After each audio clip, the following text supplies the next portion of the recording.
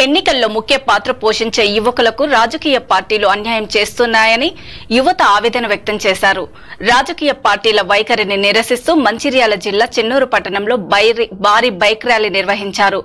సుమారు రెండు వందల మంది యువకులు చెన్నూరు పట్టణంలోని జలాల్ పెట్రోల్ బంక్ నుండి గాంధీ చౌక్ వరకు బైక్ ర్యాలీ నిర్వహించారు. ఎన్నికల సమయంలో రాజకీయ పార్టీలు యువతను వాడుకొని తర్వాత వదిలేస్తారని ఆగ్రహం వ్యక్తం చేశారు. రాజకీయంగా ఎదగడానికి ఎవ్వరూ సహకరించారని ఆవేదన వ్యక్తం చేశారు. రాజకీయ పార్టీలకు కొమ్ము కాస్తూ తమ బంగారు భవిష్యత్తును నాశనం చేసుకోవద్దని యువతకు సూచించారు.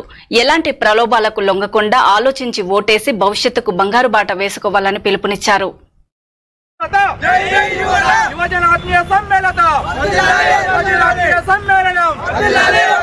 మనం తలుచుకుంటే ఏది లేదనే విషయాన్ని ఈ ర్యాలీ ముఖంగా ఇవాళ నాయకులందరికీ తెలియడానికి ఉద్దేశం ప్రజలలో కూడా ఓటు మీరందరూ దయచేసి ఎవరు ఎంత డబ్బిస్తున్నారో కాకుండా మన యువకులు ఆలోచించాలి.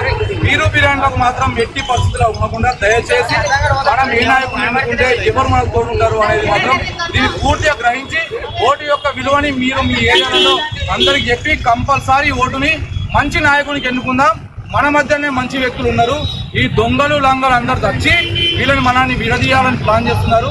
ఆ ప్లాన్లకు వాళ్ళు వేసే కుట్రలకు వాళ్ళు ఇచ్చే బిర్యానీకి వాళ్ళు ఇచ్చే బీరుబాటిలకు మీరు ఒక్కరు కూడా లొంగకుండా ఈసారి మనం గుద్దే గుద్దు ఓటు వాళ్ళ బద్దలు బాసింగ్ కలగాలి ఎవరికైనా కూడా. ఇది మాత్రం గుర్తుపెట్టుకోండి. జై యువత!